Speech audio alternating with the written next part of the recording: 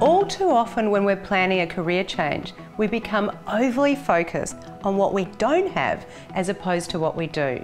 A recent SEEK survey found that employers believe that transferable skills help us stand out more than just formal qualifications alone. Discover your transferable skills from problem solving to managing people to creative thinking. Then decide how you can apply these skills to industries or jobs you're interested in pursuing.